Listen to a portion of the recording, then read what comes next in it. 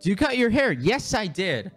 Um, so it wasn't meant to be this short. It was long for a while, and I'm surprised you guys just noticed. I've been on other streams. I think I was on one stream where it was short, and I think I even made it. Actually, no, I don't think so.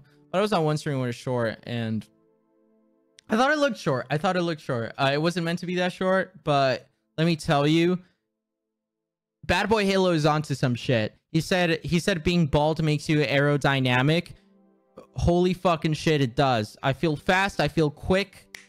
I'm doing so amazing in the hair department, in my own opinion. But I'm gonna let it grow a lot.